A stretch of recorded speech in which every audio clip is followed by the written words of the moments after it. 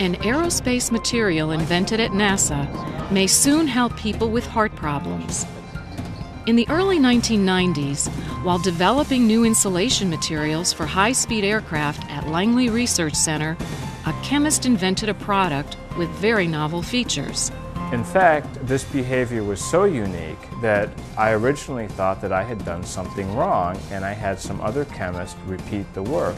And indeed, they found the same thing. It combines the properties of what we're looking for, but in fact is unique in terms of the wide varieties and ways that we're now open to process this material to make different uh, objects. Today, Bryant's material, called LaRC-Si, is both a powder and a solution. The powder form is what you typically end up with as a finished precursor. This is the form that's used to run through an extruder to make um, moldings, which are then machined into different parts, or hot coated on, on wire. You can do solution processing, and that's what's used to make uh, film type products. Although LARC SI can now be found in a variety of commercial products, for the first time it's being used in a medical application. Moving LaRC-Si from the lab into the hands of a medical research team required the marketing efforts of Langley's technology transfer experts.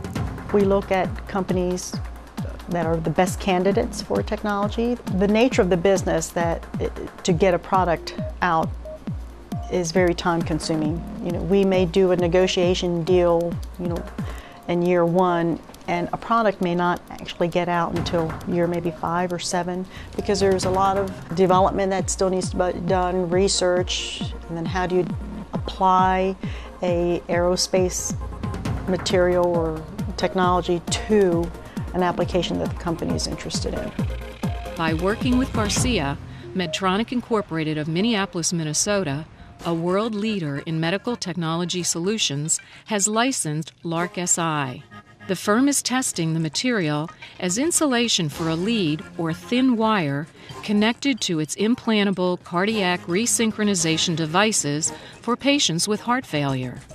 When the heart muscle is unable to pump blood effectively, doctors can surgically implant one of the devices to regulate the heart's contractions. The devices are connected by a lead wire to the left ventricle of the heart. When you're going into a person's veins, uh, you want things as small as possible to begin with, and a lot of times you'll have more than one lead going down a vein. But we want to put it into one of the cardiac veins, which are even smaller.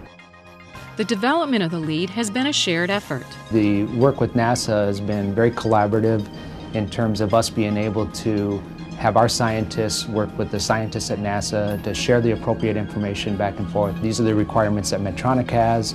This is what NASA knows about the material. Uh, here's what we're finding about the material as we do continuing testing and evaluation. The device is now in clinical trials in Canada and the U.S., and once approved, both NASA and Medtronic will have succeeded in their goals.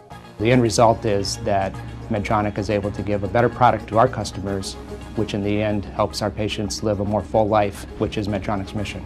That's um, our goal, to be able to let the public know that the space program is also bringing a benefit back to them, and particularly the quality of life area.